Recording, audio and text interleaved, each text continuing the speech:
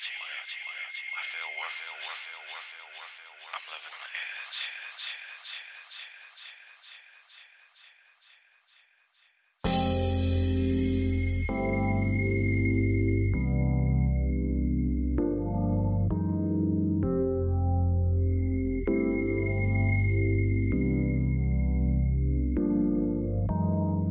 It's been an hour since you've been gone, and that's too long.